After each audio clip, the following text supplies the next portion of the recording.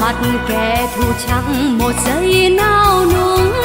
Như cánh lúa hiền cho đời bao sức sống xứng danh đã trao tặng người trung hậu đàm đang.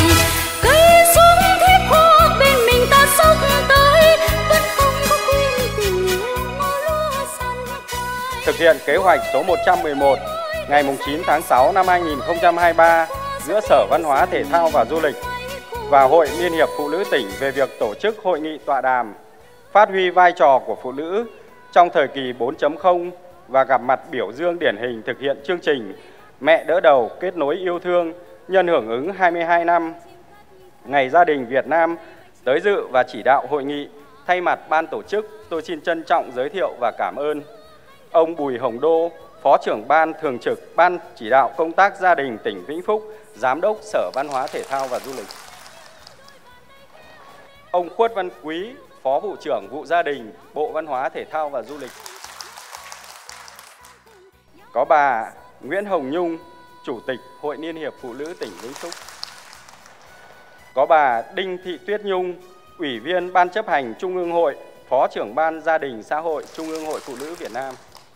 Sau đây tôi xin trân trọng giới thiệu và kính mời bà Nguyễn Hồng Nhung, tỉnh ủy viên, Chủ tịch Hội Liên hiệp Phụ nữ lên khai mạc hội nghị tọa đàm. Thực hiện chủ đề của Ngày Gia đình Việt Nam năm 2023, Gia đình hạnh phúc, quốc gia thịnh vượng, Sở Văn hóa Thể thao và Du lịch tỉnh Vĩnh Phúc và Hội Liên hiệp Phụ nữ tỉnh cũng đã xây dựng kế hoạch phối hợp tổ chức các hoạt động tọa đàm, biểu dương.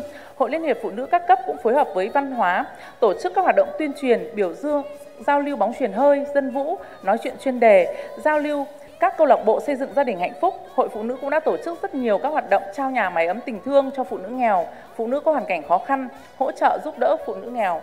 Xin trân trọng cảm ơn sự có mặt của các đồng chí lãnh đạo, các quý vị đại biểu, khách quý. Xin gửi đến các đồng chí lời chúc sức khỏe, hạnh phúc, chúc hội nghị của chúng ta thành công tốt đẹp. Xin trân trọng cảm ơn. Yeah cho đời bao sức sống, xứng danh đã trao tặng người trung hậu đàm đang. Cây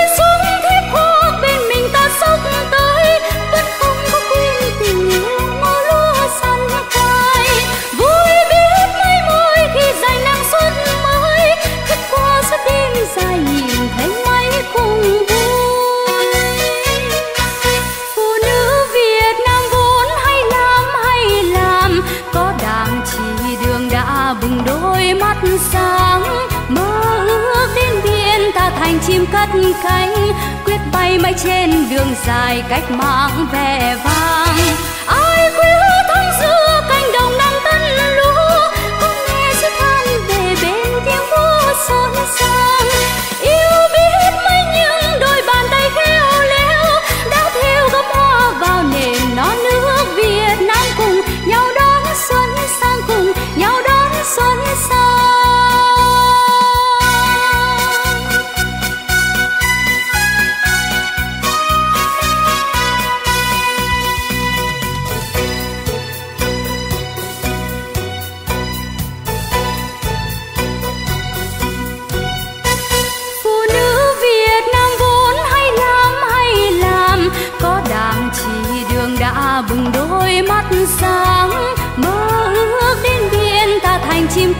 Cánh, quyết bay mãi trên đường dài cách mạng vẻ vang.